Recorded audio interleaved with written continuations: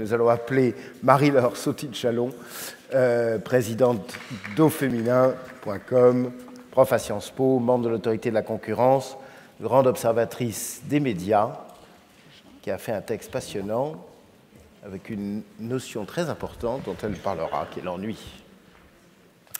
Elle a un siège spécial. J'ai un siège spécial.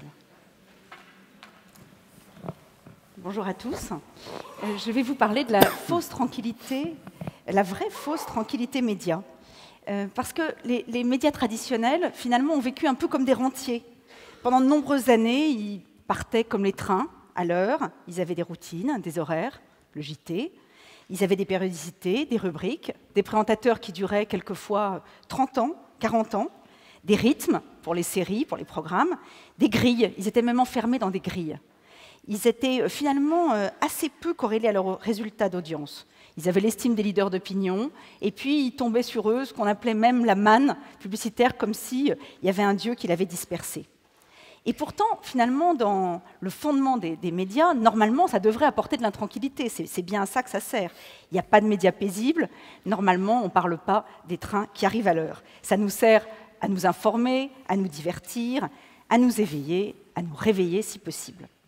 Et donc, forcément, par nature, le média doit apporter du sensationnel il faut être acheté quand on, est un média écrit, et puis même quand on veut être choisi, quand on est un média euh, radio, une télévision. C'est même d'ailleurs ce que Carlo Freccero avait appelé la messe, puisque les médias finalement euh, nous apportaient avec la télévision une sorte de messe, avec des célébrations, des rendez-vous sportifs où on se retrouvait tous ensemble. Et d'ailleurs, la télévision, c'était au centre du salon. Et ce qui est intéressant, c'est que l'éruption de l'image n'a pas fondamentalement changé le rapport qu'on entretient avec les médias. Qu'il s'agisse finalement des news ou du divertissement, il faut fidéliser le public. Et il faut fidéliser le public, pourquoi? Pour la publicité. Et donc les instruments de mesure se sont sophistiqués. On appelait ça même aux États-Unis les eyeballs, c'est-à-dire retenir nos yeux. Euh, pour évidemment gagner des parts de marché publicitaires. Donc les médias sont sophistiqués, ils ont euh, acquis évidemment euh, de plus en plus de, sources d'audience. Et puis il est arrivé dans les années 80 ce truc incroyable qui va arriver au moment de, de la guerre du Koweït, qui est l'info 24 heures sur 24. Et euh, souvenez-vous d'ailleurs, c'était incroyable parce que c'était des images qui étaient programmées euh, par euh, évidemment la CIA et pourtant on était accro et on regardait sans arrêt les mêmes images. comme un drogué à son dealer, il fallait consommer de plus en plus et regarder sans cesse l'image. Et c'est intéressant d'ailleurs parce que c'est le premier élément de congruence entre les news et les réseaux sociaux où on devient accro alors qu'il n'y a rien à montrer. On s'est rendu compte, par exemple, après le 11 septembre, il y a des psychologues qui ont, mesuré que des enfants de maternelle avaient cru que des tours tombaient de façon répétée sans cesse euh, et que c'était des tours différentes. Il fallait leur expliquer que finalement, ça n'était pas la même information qui, se reproduisait. Et puis, évidemment, avec l'Internet, les médias sont devenus de plus en plus intranquilles parce qu'ils étaient d'eux-mêmes euh, très inquiets pour leur avenir eux-mêmes. Et du coup, ils se sont lancés dans une course pour relancer sans cesse notre attention. Et c'est évidemment le début de la délinéarisation, de la fragmentation et la possibilité d'être connecté tout le temps, avec l'impression qu'on va être tout le temps en retard, en retard d'un scoop, d'une photo volée, d'un reportage amateur ou, d'un partage un même intime de vos proches. Donc de ce fait, maintenant, on n'a plus rendez-vous avec les médias, ils ont envahi nos vies. Et ils surgissent tellement qu'il y a même des, mots nouveaux qui sont inventés, les push notifications, les alertes, euh, pour que vous ayez des flux comme euh, vous qui êtes dans le monde médical, comme si on nous branchait en permanence des, perfusions. Évidemment, ce qui s'est accru, c'est le nombre d'émetteurs, et puis le nombre d'occasions, et le nombre, évidemment, aussi d'interfaces par lesquelles on reçoit tout ça. Un journal à heure fixe produit par quelques journalistes hier, des millions d'internautes transformés en reporters aujourd'hui, repérés par des dizaines de supports et poussés jusqu'à nous par nos amis Facebook. Quand un avion tombe dans l'Hudson, les médias sont en retard, mais il y aura toujours quelqu'un pour le photographier et filmer la scène qui va être vue par des millions de personnes avant même que les reporters professionnels ne s'en emparent. Donc chacun son écran, évidemment, c'est la fin de la messe familiale.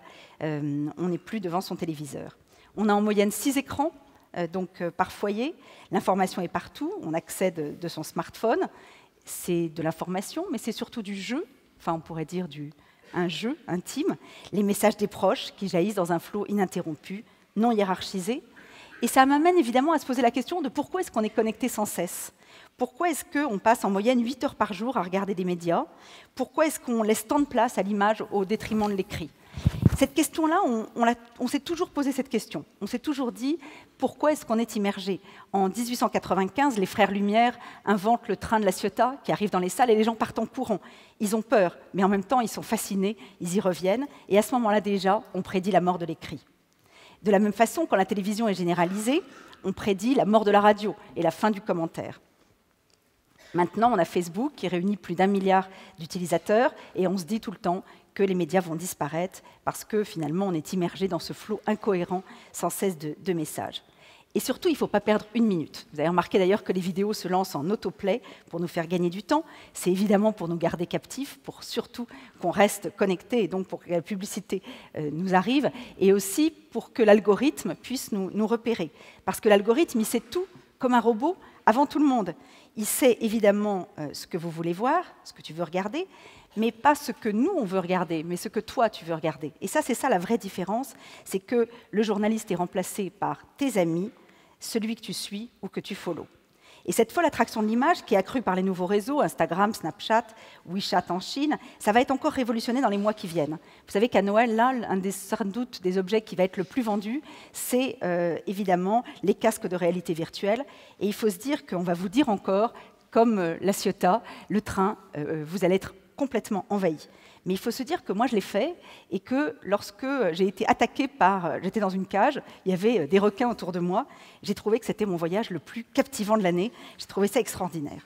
Et euh, quand on va avoir des capteurs, et oui, bien sûr, c'est un peu le, sujet des robots, et qui vont vous permettre, une fille chez nous l'a fait par exemple, de faire l'amour en étant un homme, elle a trouvé ça absolument incroyable. Elle a trouvé que c'était même mieux que l'irruption du train à la Ciotat. Alors, les, avis s'opposent sur la conséquence de ces distractions permanentes, évidemment, parce que notre attention devient un peu comme l'air qu'on respire, une ressource qu'on voudrait protéger. Il y a des philosophes américains, comme Matthew Crawford dans, dans Contact, qui ont dénoncé la crise de l'attention généralisée. Autrefois, euh, Patrick Lelay disait qu'on avait un temps de cerveau disponible qui n'était pas seulement euh, envahi par Coca-Cola, c'était ce qu'il souhaitait, mais pris d'assaut par les réseaux sociaux.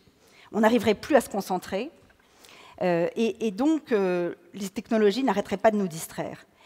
Il faut savoir que les chats, les messages instantanés, c'est 69 milliards de messages sur WhatsApp et Messenger par jour. C'est trois fois plus que l'ensemble des SMS. C'est aussi évidemment des milliards de photos échangées. Alors on n'a plus qu'une seule identité, et ça rejoint complètement ce que Muriel racontait et, sur, sur, PSOA. En fait, on a des multiples facettes qui coexistent, on est tous des, petits PSOA, et on a l'impression grâce à ça que notre vie est plus riche, que évidemment euh, on, est, euh, on est beaucoup de personnes à la fois, et donc on vit de façon plus intense. Alors évidemment, pour un certain nombre aussi, on serait en fait prisonnier d'une très grande cacophonie. Alors ce n'est pas la vision du neuroscientifique Jean-Philippe Lachaud dans le cerveau attentif. Il a démontré au contraire que le multitasking, le jeu de faire plusieurs choses à la fois, ça consistait jamais à faire attention à plusieurs choses en même temps. Parce que ça, ce serait neurologiquement impossible. En fait, ce qui arrive, c'est de faire des va-et-vient rapides, je pense que tout le monde l'a vu, notamment avec, avec ses enfants, euh, entre différentes activités. Et ça, ça développe des capacités nouvelles, c'est-à-dire que notre cerveau euh, grandit, une certaine plasticité. Il y a une femme d'ailleurs qui s'appelle Catherine Hells, qui est professeure à Duke University, qui a appelé ça l'hyperattention. Et elle l'a opposé à ce qu'on appelle la deep attention. La deep attention, c'est la lecture d'un livre, par exemple. L'hyperattention, c'est la capacité qu'on a à être passionné par plusieurs choses à la fois. Et ça, ça va modifier complètement euh, l'apprentissage et l'éducation. Et il faut évidemment, nous enseignants, qu'on révolutionne totalement notre façon de faire. Elles ne vont plus supporter, en fait, les jeunes générations, d'écouter des choses qui leur paraissent horriblement ennuyeuses. Donc il va falloir développer des nouvelles compétences, plus internationales, plus agiles, plus tournées autour du jeu aussi, parce que euh, sinon, ben, les générations seront euh, évidemment moins fidèles, moins monotaches, elles ont toujours peur de s'ennuyer. Cette peur de l'ennui, on n'a pas de mot en français, mais les Américains l'ont appelé FOMO, Fear of Missing Out, c'est-à-dire que l'impression qu'à chaque moment, on pourrait rater quelque chose quelque part. Et ça, c'est euh, intéressant parce que ça ramène à, la notion des, robots et des jeux, finalement. Du coup, l'école, et je crois qu'on en a un tout petit peu parlé euh, hier aussi, doit devenir entertaining. Finalement, sans doute, ce rejet de l'ennui, c'est ça la plus profonde mutation. À la génération des parents, le temps libre, c'était du temps de repos, et l'ennui était jamais loin. Et ça, nos enfants ne le supportent plus. Pourquoi rester sur le banc du village avec d'autres vieux qui regardent passer les carrioles quand on peut embarquer pour un voyage interstellaire? Et pourquoi est-ce que finalement les moins jeunes, qui d'habitude arrivaient à entraîner les plus jeunes dans leur comportement, se mettent à copier les moins jeunes? Ils se deviennent eux aussi sur Facebook, qui a maintenant trois générations, puisqu'on y, on y retrouve sa grand-mère. En fait, c'est parce que les mutations sont irrésistibles. On est soumis à une dictature de l'hyperchoix. Et c'est aussi une très grande chance. Moi, j'aime bien cette phrase de Jules Renard qui disait Quand je pense à tous les livres qu'il me reste à lire, j'ai la certitude d'être encore heureux. À l'ère numérique, on est comme ça. On se dit tout le temps qu'il y a tellement de gens qu'on pourrait rencontrer, tellement de pays qu'on pourrait traverser. Est-ce que ça rend plus heureux ou plus inquiet? Est-ce qu'on va trouver le temps? Et, pourquoi est-ce que finalement tous ces loisirs, euh, d'après toutes les données de l'INSEE, sont tous en progression? On produit plus de livres, on fait plus de sport, on sort plus le soir, on va plus dans les bars, on joue plus, on bricole plus. Comment est-ce qu'on a trouvé le temps? Parce qu'on a évidemment réarbitré. On a pris du temps sur le temps perdu, sur le temps à rien faire, sans doute qui était propice, j'imagine, quand on est devant des psys, à la construction psychique. Mais on utilise ce temps perdu pour ouvrir des fenêtres sur le monde. Et on adopte des technologies comme des outils de connexion et d'apprentissage. Les cours en ligne, par exemple, c'est extraordinaire. Il y a 760 000 étudiants qui ont suivi en France les cours, donc les MOOC, les Massive Courses Online, de l'université numérique. Il y a quelqu'un que vous connaissez peut-être, qui est Salman Khan, qui donnait des cours de mathématiques à sa nièce, qui n'était pas très douée, avec des tutoriels. Et maintenant, il a 10 millions d'élèves euh, de par le monde. Et c'est une fondation à but non lucratif qui soutient aux élèves en difficulté, qui s'appelle la Khan Academy, qui est un immense succès. Et on est seulement au démarrage de tout ça, parce qu'il faut savoir qu'il y a seulement 3% des cours qui sont en ligne, contre aux États-Unis 80% des cours qui sont donnés par des professeurs américains. Ça va fondamentalement changer les choses, ça va permettre des ascensions sociales, ça va permettre des chemins de, traverse pour accéder au savoir, et aucun de nous ne devrait ne pas prendre des cours en ligne aujourd'hui. Chacun de nous devrait se dire qu'est-ce que je suis en train d'apprendre, euh, moi aussi. On se contacte évidemment aussi très différemment aux autres. En 2011, on avait mesuré sur Au Féminin que les gens préféraient les SMS plutôt que de se parler. Euh, finalement, ils n'avaient pas tellement envie d'affronter le regard d'autrui et ils préféraient pouvoir ne, pas regarder. Mais finalement, euh, chez le psy aussi, quelquefois, on évite le face-à-face, de se regarder dans les yeux. Dans, la vie connectée, dans les forums anonymes, dans la vie amoureuse, sexuelle, sur Tinder, on veut gagner du temps. On découvre euh, des nouveaux codes, un nouveau savoir-vivre. Et puis des politesses de réciprocité. Si je te like, tu dois me liker aussi. Le téléphone, ça devient le deuxième objet précieux après le portefeuille. C'est un annuaire pour retrouver des gens, pour y trouver des nouvelles images, un album pour y laisser des traces. Alors évidemment, euh, là aussi, et c'est comme un peu les robots, on veut y laisser des traces qui soient parfaites. Alors, Typiquement, euh, celle-là, c'est vraiment partager avec les autres des vacances extraordinairement enviables. Celle-là, c'est montrer à tous qu'on est aimé et que tous les autres célèbrent cet instant. Et donc, euh, c'est exactement la même chose. Tous les robots qui sont autour de vous doivent vous dire comme vous êtes beau. Nos smartphones, c'est dans nos poches, c'est pour 70% des adolescents sous leur oreiller. Ça nous rassure, ça nous éloigne, ça nous rapproche et ça comble des expériences évidemment de solitude. Il faut savoir que les mamans deviennent des obsessionnels du contrôle, que les amoureux se pistent, c'est une des premières causes de divorce, que les employeurs espionnent leurs salariés, qu'on rafraîchit son écran sans cesse parce qu'une seconde plus tard, c'était déjà le passé.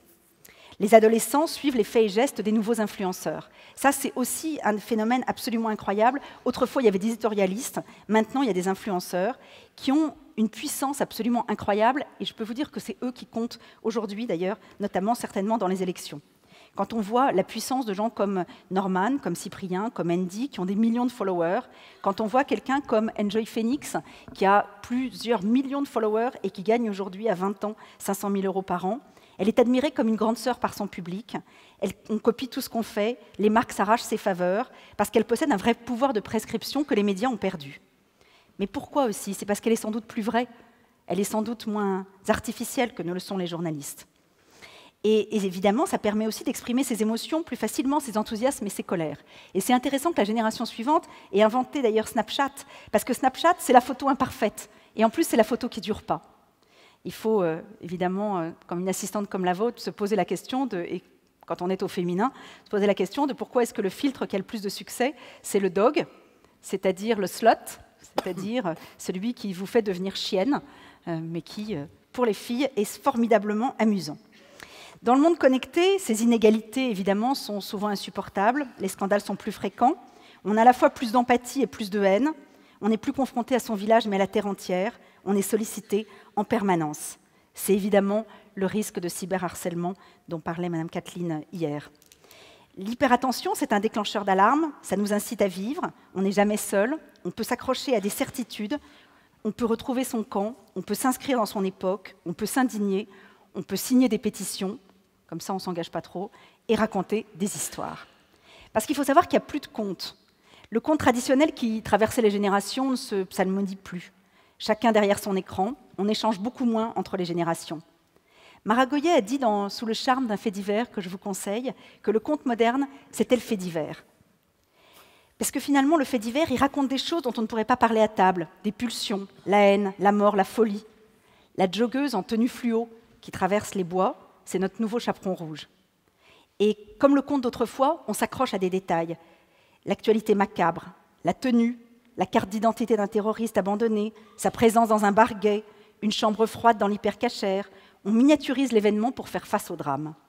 On raconte l'histoire de l'Asana, celui qui ouvre la chambre réfrigérée, et on peut, grâce à lui, sublimer le héros ordinaire. Et le fait divers nous construit, parce qu'en le partageant dans les réseaux sociaux, on accède à une forme de communauté mondiale, et on se scandalise contre un acte pédophile à des millions de kilomètres, et puis un acte terroriste juste en bas de chez soi. Ce qui est plus difficile, c'est qu'on a du mal à hiérarchiser les faits, à les mettre en perspective, à les resituer dans un taux long, à approfondir l'enquête, à déterminer ce qui est vraiment la vérité. Ça a même un nom dont Orsena a parlé. Ça s'appelle l'après-vérité, le post-truth. Et c'est la couverture de The Economist en septembre 2016 qui en a parlé. C'est pas seulement Christine Boutin qui annonce la mort de Chirac parce qu'elle veut exister. La post-vérité, c'est ce que les algorithmes provoquent. Puisque vous êtes connecté à un cercle qui vous rassemble, vous n'êtes plus confronté à la vérité, vous êtes confronté à la vérité de votre cercle. Cette capacité de susciter des émotions, des scandales, c'est bien sûr le lit des populistes. Parce que ce qui est important, ce n'est pas ce qui est vrai, be true, mais ce qui paraît juste, feel right. Ça confirme vos intuitions et vos préjugés. C'est l'ère des post-truth politiques aux États-Unis. Il y a des chercheurs qui ont expliqué que, par exemple, si on réunit un groupe et qu'on leur parle du réchauffement climatique ou qu'on leur parle d'Obama qui n'est pas musulman, en fait, ce qui va se passer, et qu'on le fait avec des preuves scientifiques, eh bien, c'est que le groupe démocrate ou sans affiliation partisane va ressortir convaincu qu'Obama n'est pas musulman et que le réchauffement climatique est en marche. C'est normal puisque c'est vrai.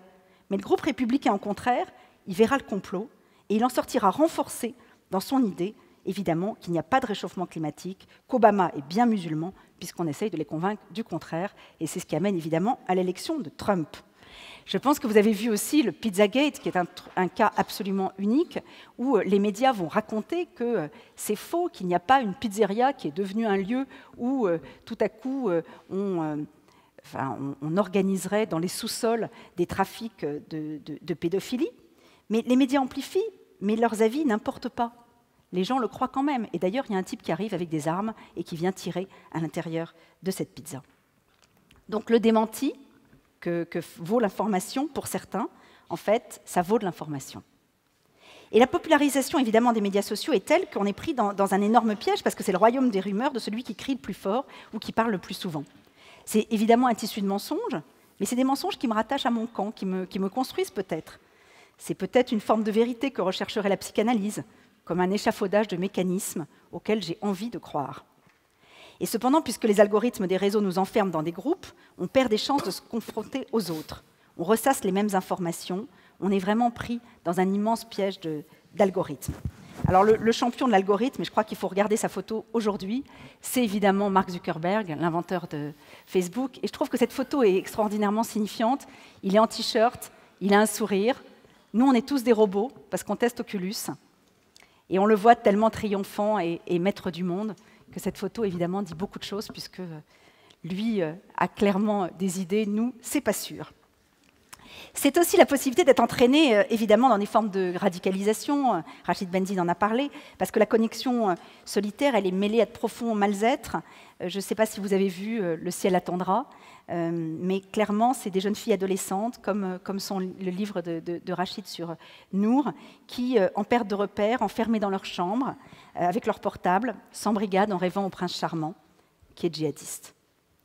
Les distractions tranquilles des générations d'avant, c'est fini. Un repas de famille, un dimanche à la campagne, une partie de pêche, la lecture d'un livre. Non, aujourd'hui, on choisit le jeu vidéo, les distractions intranquilles, le smartphone qu'on consulte 150 fois en moyenne par jour, et la réalité virtuelle demain, qui nous permettra d'être transportés et immergés. Ce besoin d'être connecté, c'est évidemment un besoin délirant de narcissisme. Je m'expose dans les réseaux sociaux pour contrôler mon image, pour gommer des pans de ma personnalité, pour livrer mon état Facebook. Ça aurait été formidable pour Pessoa, parce que c'est un selfie triomphant, heureux, amoureux, riche, qui vit des expériences rares, qui attend la reconnaissance populaire, les likes, les partages, un moi idéalisé. Le moi douloureux ne trouve pas d'expression. Il prépare à l'effacement, les algorithmes ne lui donnent pas de visibilité, si j'ai rien à vous dire, pas de photos à partager, je ne suis pas digne de votre attention, donc de votre amitié. Je peux alors m'inventer des nouvelles identités, m'effacer, me perdre dans une vie idéalisée, narcissique sur laquelle plus personne n'aura de prise. Alors évidemment, comment retrouver un peu d'apaisement dans cette fébrilité dangereuse? Comment retrouver le contrôle de, de ses pulsions? Il y a un type qui avait un job incroyable, Tristan Harris, il était stratège de la persuasion. Vous vous rendez compte que ce job existe chez Google? Il en est parti, il a écrit un livre pour essayer d'imaginer comment repenser l'usage de notre temps pour basculer du temps passé à du temps bien passé, le time well spent. Et il fait pari que la technologie pourrait même nous y aider. C'est finalement le contrôle des robots. On peut évidemment apprendre à cesser d'être dérangé quand on travaille, on pourrait refuser les notifications des mails, n'être interrompu que par certaines personnes, stocker des messages qui nous seront remis plus tard. On peut développer des écrans différenciés pour les applications qu'on utilise en fonction de leur importance. On peut protéger sa vie privée. On peut effacer les données GPS de ces trois dernières destinations, par exemple. On peut se déconnecter à certains moments. On peut débrancher les outils. On peut retrouver des plaisirs simples. On peut se reconnecter, et on le voit, c'est une immense tendance le bricolage, le jardinage, se reconnecter à la simplicité de la vie quotidienne, au dialogue, pour reconstruire notre vie psychique. Et c'est la mission que peuvent se donner les nouveaux médias. Et c'est là qu'on retrouvera tous du sens.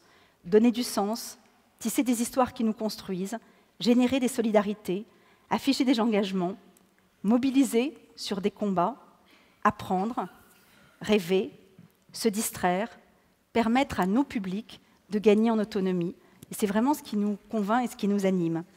Et j'aime beaucoup cette image qui nous montre qu'on pourrait aider à retrouver de la tranquillité dans un monde médiatique intranquille. Finalement, d'un côté, on voit des gens qui sont isolés, qui ont l'air même antisociaux, et puis de l'autre, on voit qu'on n'est pas des robots. Au contraire, chacun se connecte à quelqu'un, prend soin de quelqu'un. Et j'aimerais bien conclure, parce que, euh, évidemment, je pense beaucoup à lui en ce moment, par euh, un film euh, qui a été fait dans le cadre des films sur la fraternité générale de, Fabienne Servan-Schreiber. C'est la fraternité, disait Ousmane Sow, c'est que quelqu'un pense à moi quelque part. Merci.